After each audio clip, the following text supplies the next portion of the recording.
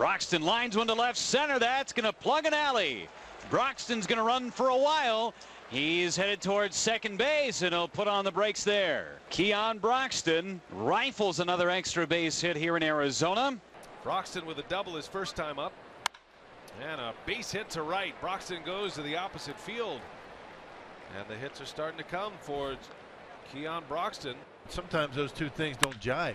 There's a bouncing ball through for a base hit, and it'll be an RBI for Broxton. The Brewers add one more to it.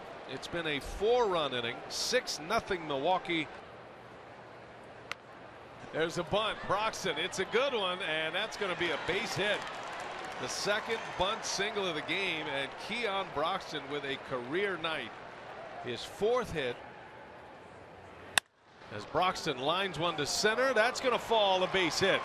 And here comes Braun. The throw home is cut off. And how about Keon Broxton? Keon Broxton with a Milwaukee rookie record for five hits. Wow. Yeah, good for him.